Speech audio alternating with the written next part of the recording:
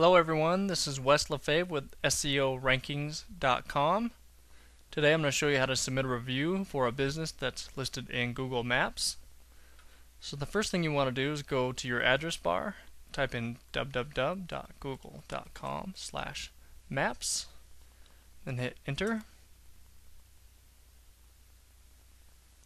That takes us to the Google Maps main page. In the search box, we're going to type in the name of the business.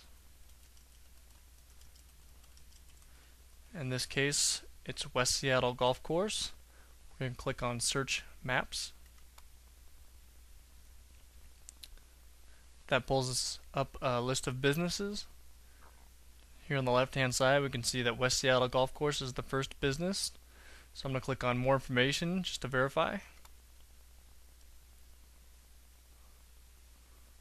Once I've verified the listing is the one I'd like to submit a review for, I'm just going to scroll down.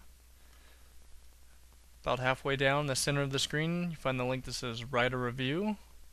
Click on that link. That takes you to the Google Accounts login page. So you're going to need to create an account if you don't have one, or you can log in with your current account. Log in.